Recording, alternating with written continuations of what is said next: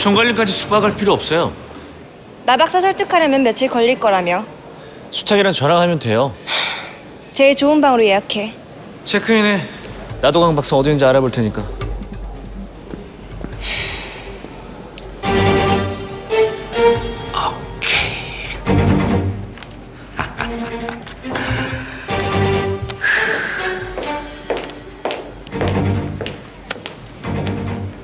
나 박사님, 옥 대표 역시 능력 좋네 금방 찾아내고 긴 말 안 해요.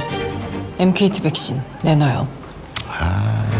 한참 끝발으로는데 재수없이 뭐해? 패들려? 당신 죽고 싶지? 당신들 무서운 줄 알아 근데 난 돈이 더 무섭거든 돈이 목숨보다 귀하진 않지. 당신들 나 못 죽여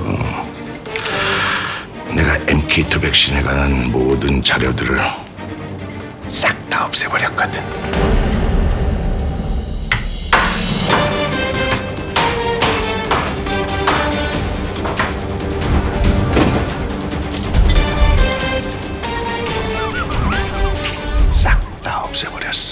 그러니까 이제 이 세상에 MK2 백신은 없는 거지 그럼 그게 어디 있느냐? 바로 요 안에 있어. 내 머릿속에.